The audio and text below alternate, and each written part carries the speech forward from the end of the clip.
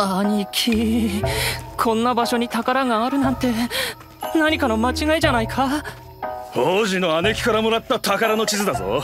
間違いなくここにある。待ってくれ兄貴。何か声が聞こえて。ガキじゃあるまいしいつまで優秀しとあ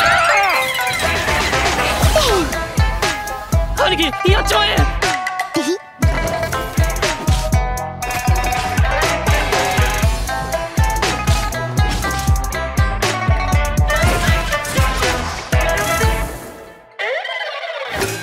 は生前運命は無常。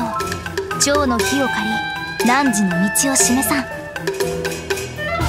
とつまんない人たち。ファードゥイなんかをからかう趣味もないしこのまま倒しちゃおっか。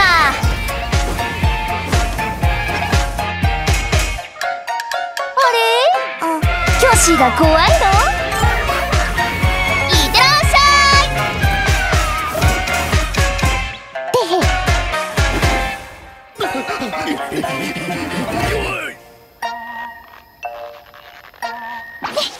あばよ